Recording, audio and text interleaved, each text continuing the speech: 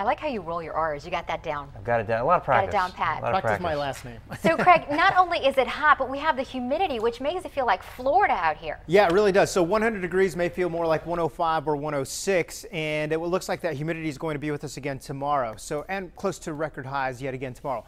We'll start off with the Skycam network as we look out over downtown. Off in the distance, there's a uh, thin marine layer, and it'll blow back in tonight right along the coast and hug the coast, but it'll quickly go away tomorrow. 65% relative humidity right now at Lindbergh. 75 is the temperature. Sunrise at 5:44. We will already be in the 70s, and at sunset at 8:05, we will still be with some 90s and triple digits in some of the warmer spots. So looking at the rest of the Skycam network, right over La Jolla, very thin veil of some of those clouds coming on through. We head over to Poway. We've had some of those high thin clouds, but still did nothing for our temperatures or keeping them down anyhow. We were actually about four degrees warmer than we were yesterday. And right over Mesa Grande, you can see those clouds. They're coming from the southwest. That monsoon is giving us those humid temperatures, and the uh, we'll stay with this for a couple more days. Ramona right now, 98, 95 in Escondido. Look at Ocotillo Wells, 116, 71 in Chula Vista. Here's the water vapor loop, and you can make out where those storms are. All of the green there, that's going to indicate where the thunderstorms are popping up right over the desert southwest. So that continues to stay in place tomorrow. That area of high pressure is what's giving us all of the heat. It looks like it stays there yet again tomorrow, and we get those uh, thunderstorms moving over the Four Corners region. And a lot of those high clouds are coming our direction and giving us the humidity. So the high pressure stays in place, and that heat wave continues through the weekend, even into Monday and Tuesday. It's not till Wednesday that we see the temperatures start to moderate and come back down. So 7 a.m. tomorrow, 70s along the coast, near 80s in some of the warmer spots. That's just our springboard for what happens during the afternoon.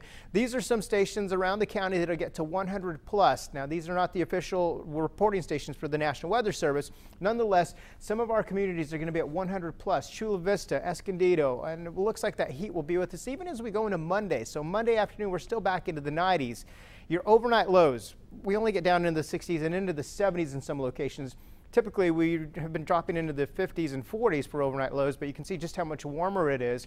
Your highs tomorrow 92 in Mira Mesa, 92 in La Mesa, over to Chula Vista, 83, 102 in Ramona, and Alpine 100. Preston and Itica, July 10th marks 100 years since the hottest recorded temperature was ever marked at Death Valley, 134 degrees. And by the way, from July 5th to the 14th, it was 125 or greater.